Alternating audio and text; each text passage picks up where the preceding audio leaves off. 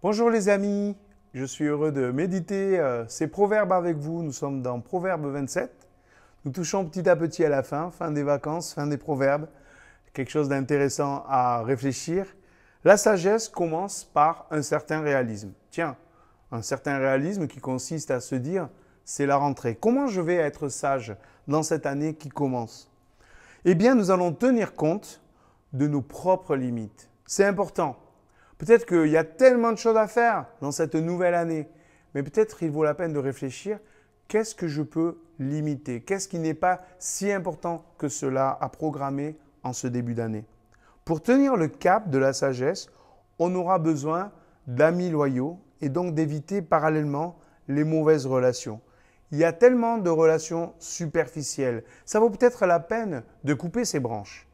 Nous avons besoin de relations solides. Je ne parle pas que de relations avec des croyants. Des relations solides peuvent être fixées avec des incroyants.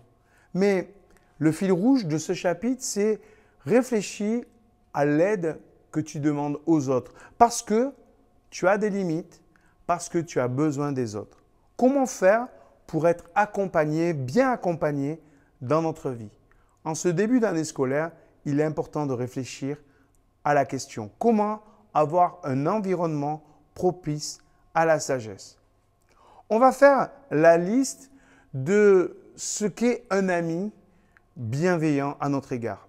Il est réaliste, il est bienveillant, il est proche et fidèle, il est garant en cas de jugement, il est solide dans l'épreuve et il est solidaire en cas de besoin. À ces six signes, nous pouvons reconnaître un ami. Par contre, voilà ce qui ne devrait pas être dans la séduction, rancunier, violent, parfois brutal, absent ou fuyant ailleurs quand on a besoin de lui, en conflit permanent, prise de tête, intéressé. Nous avons tous besoin de relations. Nous sommes tous interactifs et interdépendants. La sagesse ne peut pas rester solitaire, elle est solidaire. Mais avec qui? Qui sont tes amis? Sur qui peux-tu compter? Mais aussi peut-on compter sur toi? Es-tu un ami fidèle? Si tu te disperses dans tellement de choses que tu ne peux jamais être fidèle dans tes engagements, il y a un problème. Je vous en parle, je m'en parle à moi-même aussi. Parfois, des gens super riches ou super connus n'ont pas d'amis.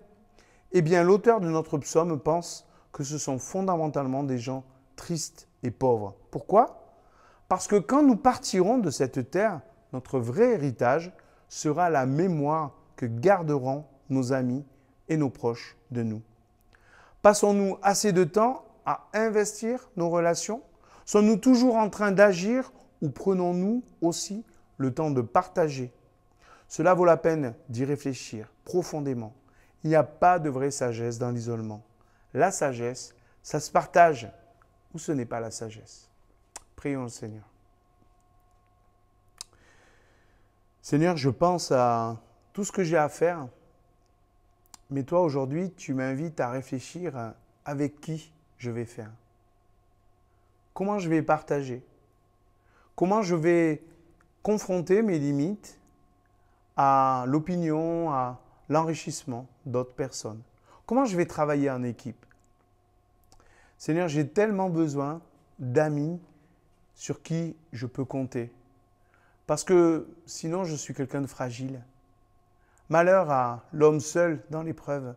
Par contre, celui qui est accompagné, eh bien, peut surmonter l'épreuve. Seigneur, je te prie, je te prie pour mes amis, je te prie d'être un ami fidèle. Je te prie aussi de fortifier ce terrain-là, de fortifier mes connexions avec mes amis. J'ai besoin d'eux, ils ont besoin de moi. Et Seigneur, c'est tellement bon de ne pas être seul, parce que ensemble, nous sommes euh, plus euh, aptes à aller plus loin. Nous arriverons plus loin. Seigneur, que ton Église aussi soit un corps, soit un corps euh, fait de différents membres capables d'avancer ensemble. Sachons, Seigneur, discerner vraiment, Seigneur, comment se compléter de façon harmonieuse et au lieu d'être mal, au lieu d'être euh, malade, au lieu d'être fatigué, d'être euh, encouragé, fortifié les uns par les autres. Seigneur, aide-nous à reconnaître, à voir les personnes dont nous avons besoin pour bien fonctionner. Amen.